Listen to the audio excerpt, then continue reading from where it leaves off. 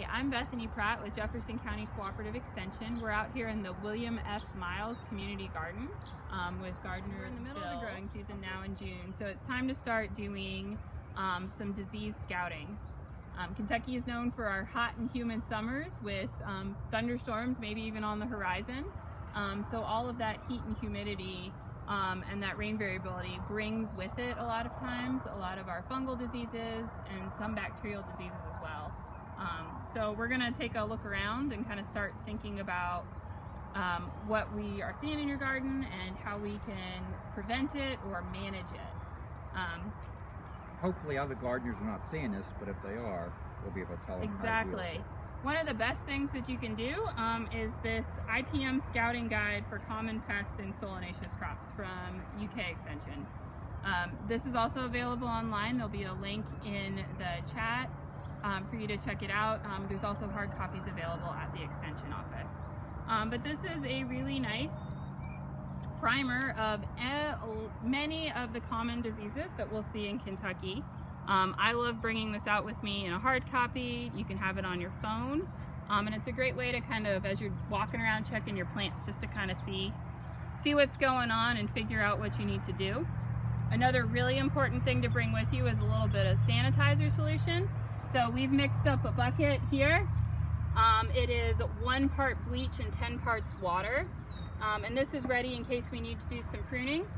The other thing we've brought, um, have some hand pruners, um, or if you've just got some scissors from your house, both of these are great.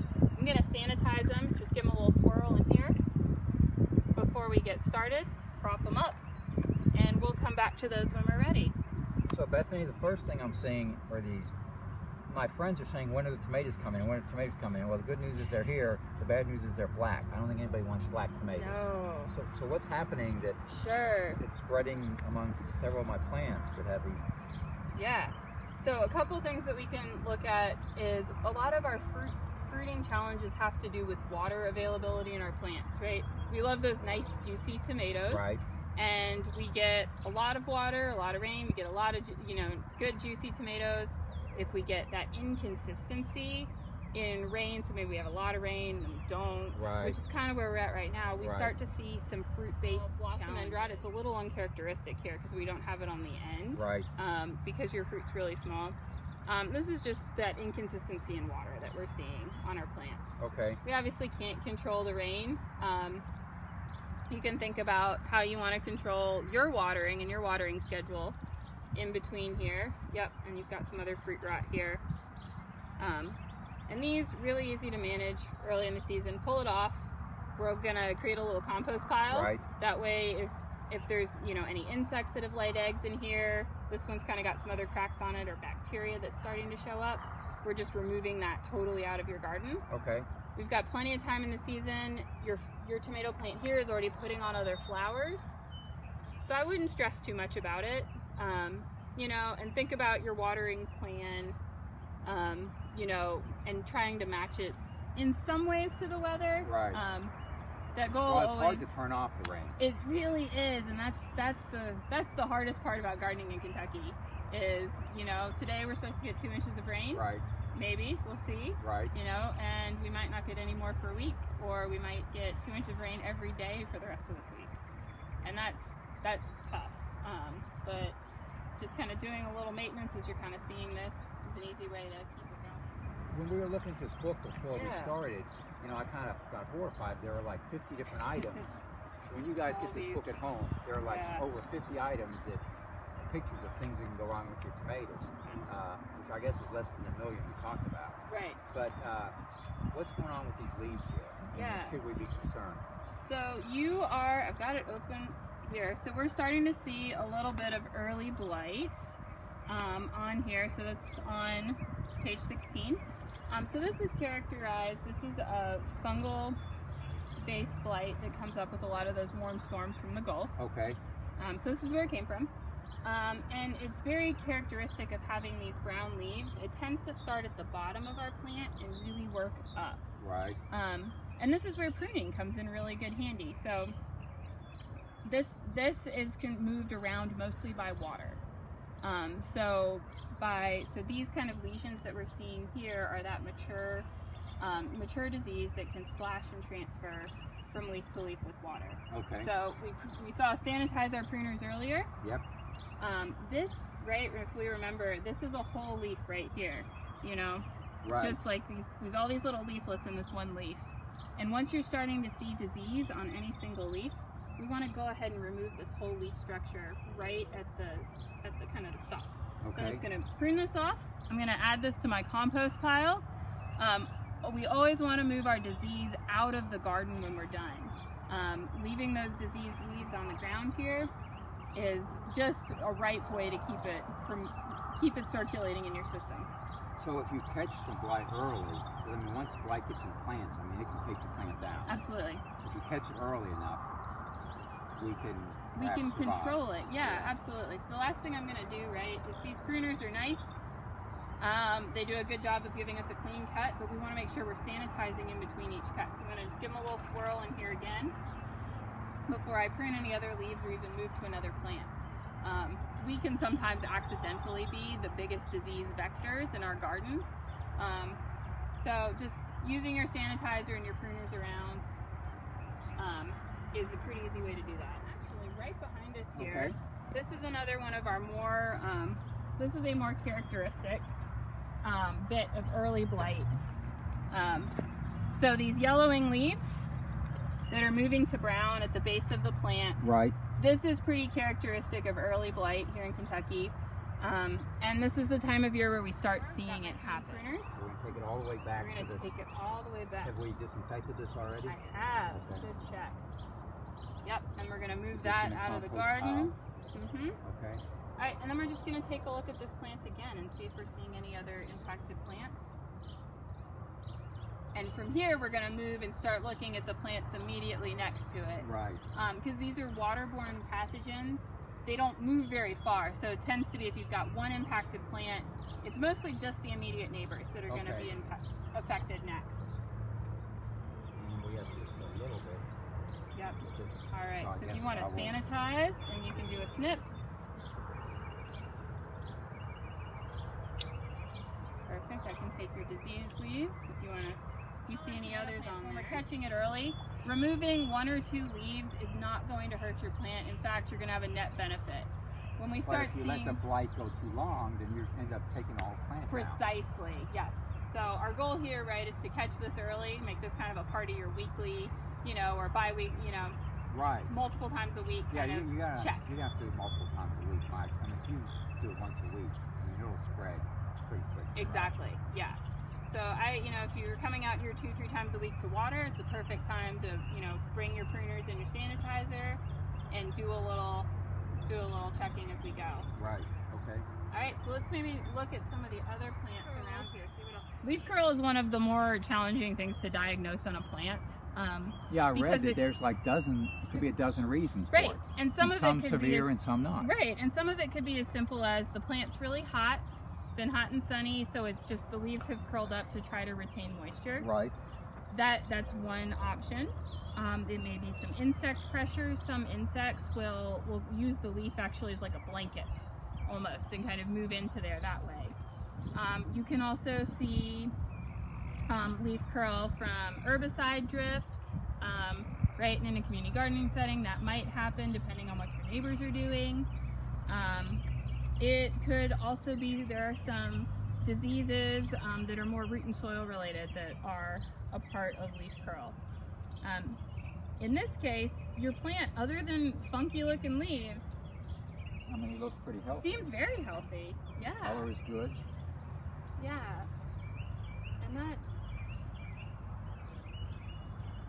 and this is where for me I would start getting my guide out because this is right as we talked about all this these are all the options that kind of rolling around in my head for leaf curl. Um, so I'm gonna grab my guide real quick and kind of just thumb through and see if we can identify some different wilts going on here. Um, and this is where this is this nice fun game of match the disease with the picture. Well, the pictures are good. The pictures are great. Um, and you are. I'm not seeing. So the tobacco mosaic virus and the wilt virus are the most common that we see here, which is not what you've got going on. This is the cucumber mosaic virus. But it's for tomatoes, right? Right.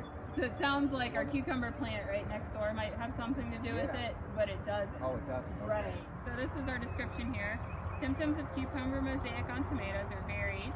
They include stunting, um, which we definitely have, right? We have stunting, right? We've got some shortened leaves going Right. on in these plants. Um, yellow-green mottling of leaf. Um, we don't really have that. You've got nice, healthy green leaves. Right. You've got a healthy plant. And then filiformity. So that's kind of like they're they've got dis- disfigured shapes Yes. here, which we definitely have. Right. Um, the plant's leaves often have a strappy or shoestring appearance. Um, and this says the virus is vectored by aphids. So now we need to start looking at your plant to see are we seeing aphids on there? Okay. Um, and that's going to kind of cue us in um, on what's going on next. So aphids, if you're not familiar, they are teeny tiny. Um, and so they they may even look like pins or like black spots on your Oh, on your really? plants. So they're not like our bigger pests that we'll see. So, So they're, they're really little. to see. yeah. Yeah, so let's kind of take a look here, see what we can see. Are they typically on the front or the back of the leaf? Good does it- question. So most of our insects like to hang out on the back of the leaves, particularly on sunny days. Okay. Um, so doing a good inspection of the undersides of your leaves is a great way to to look for them. Oh yeah, here we are. Something we could really easily mistake is just some dirt yeah. that splashed up. Yeah, so these little tiny dots here are our aphids. Um, and where you've got some, you generally have more. So we're gonna keep so keep looking around. they do not have to get on every leaf to have leaf curl. right? Once no, they, don't. So once they infect the plant. Yep, so they can they will be coming around. Um, the good news is, right, so this is oh, and you also have wow, you got a lot going on on this plant. So this is right, so we have a disease plant, which means that it off, often becomes a host for many things. And it becomes weaker. and it becomes weaker. So here is a tomato hornworm. Yeah, this is a very nice little little unicorn horn that it's got on the top.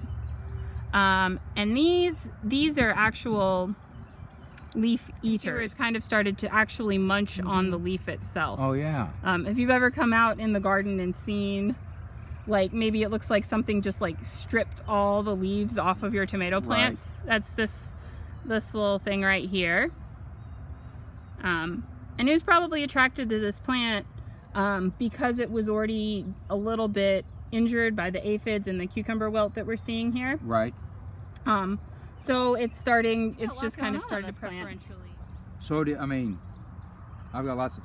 I guess we got to talk two different ways. Right. If you only have one tomato plant or two or three, your strategy might be different than mine. Mm-hmm. I got lots of tomato plants around, mm -hmm. plenty to do. Yeah. With so much going on on one plant, do you kind of give up on this guy Yeah. And so give him a good funeral and move on? I, you know, and I think in this case it that may be a good choice. We've got a couple different um, insect pests going on.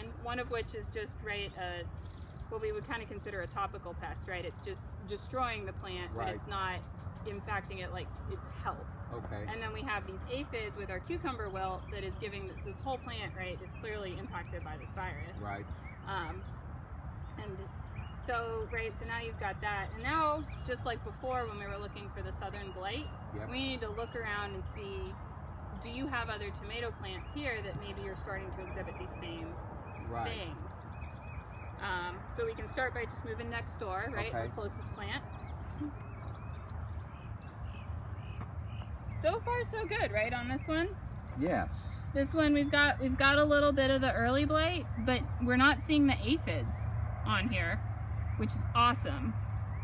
So this this plant looks healthy and this looks good. Right. Um, back here though, we were looking. We do see two that have that same cucumber wilt going on, right? So, and we can kind of check these out.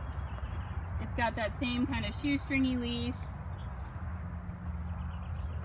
You've got some mature, more mature aphids on it right. um, over here. And I bet we would find something similar on the other one. So now we're starting to see this is this is clearly this one virus is spreading some, Right. and so it might be time for the good of, for the good of the community to say goodbye to maybe these two to three severely impacted plants. Now, if you were, I don't want to make your life hard, but if you were at home and you only had a couple plants, would Yeah. you would you try to work with these at all? I mean, Yes. Um, so some of the wilt viruses are a little more challenging to control, um, right? Because the virus is impacting the health of the plant, but the vector is the aphid. right. So we're a little more limited in how we can manage that because we're what we have to do is we have to manage the aphids. Okay. Um, aphids are a very common garden pest. They're also a pretty generalist, so they they feed on lots of things. Okay. Um, and so with that, we have a variety of right insecticides that we can utilize. Right. Um, if we want to go that route, we can also do um, so. An insecticide, when I'm using that term, is anything that you are applying to a plant, organic or not, Okay. um, that is specifically meant to deter insects from landing on the plant. Gotcha. Right, and then we can get into more details from there. Right. So that's one option. Um, we also have biological control, which means that we're going to invite specifically some other insect in that's going to eat the aphids. Oh wow. Um, and that's another option. Okay. Ladybugs are probably our most popular choice for that. Okay. Um, ladybug larvae, um, they're kind of like the Pac-Man of the insect world. They just walk along and they just munch, munch, munch, munch, munch, munch, munch. Um, and they will, they will like just vacuum up aphids. okay. Um, so the benefit there, right, is you have not put anything on your plant in terms of an insecticide. Right. Um, downside is you've got to right go find your ladybugs. You've got to, you know, you get you get them as eggs. Okay. So you get the eggs, you release them in your garden, you wait for them to hatch, um, and then they they hatch, and then they have to walk and find your insect your your plants. Long term though, having a lot of ladybugs here, right? Right. You're you're doing preventative Right. work as well. Um, But you're taking that approach now. I mean, the time they got going on, I mean, we could lose all our tomatoes, right, right? right. So in this case, this maybe maybe the the beneficials are not your good short term solution. Right. They may be a good thing to pair with something like just physical removal, Okay. if that's your choice here, right? Specifically. Um, or right, if you're really dead set on keeping these plants alive, then we're wanting to think about some other, some other either some kind of sprayed sprayed solution, right? It may not um, to go forward with that. Um, and there are lots of different things on the market. Um, for there, it's a it's a going to your to your preferred store Right. and reading the labels. Um, there's there's lots of that fine print right on the bottoms of those insecticide labels. Um, no matter if it's organic or a synthetic, Okay. they will all tell you what they control, and you will want to purchase one that specifically says aphids, Gotcha. um, and kind of move from there if that's the route you want to take. Okay. Well, we're going to remove them since, uh, as we talked, there's just so much else Mhm. going on here, and uh, hope that they're kind of isolated to just these three plants. Yeah, and I think right. So kind of looking, maybe these two plants just behind you be would be they might be in danger. So they're just ones that you might want to keep your eye on. Right. Okay. Um, but they don't at this point. I don't. They don't seem like they're they're ready to move out. So we've talked about so far. We've talked about in our list of In our book of items. diseases, right? Um, black blos- blossom end rot. We've talked about blight. mhm. Uh, we've talked about aphids. And we talked about the hornworm, right? Yeah, And just four or five plants. right, right. You kind of have you do good and bad, right? You kind of have the cornucopia of um, disease pressures Right. happening here. Um, but the key foundation to all of this is when you're looking at your garden as a whole, Right. nothing really looks diseased, right? Right. So this is really all about management and plant health. Okay. Um, so the healthier our plants are on the whole, the better are we we are able to come in and do things like pruning, right, to help Right. control disease, and then the less likely our plants are to succumb to any of those diseases because they've got kind of a good balanced diet Right. on their own. Right. Um,